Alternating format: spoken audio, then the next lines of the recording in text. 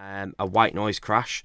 And the reason for this uh, is when you listen to reference tracks, I always reference my kick and bass from this 33 bar mark. Now, the reason why I do that is because. Uh, now, what I'm also going to do is you want to make sure the LFO is after the overdrive because it's going to get that side chain in there for you, sounding nice.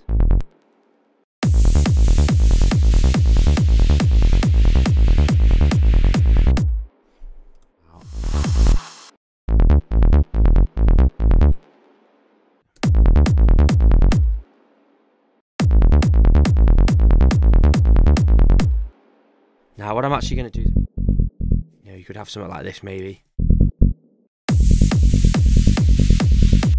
Probably needs to go up a bit actually. I think it was this one. I did take quite quite a lot of the high off, but in this track I want it to have the uh, the mid in there to help drive it along.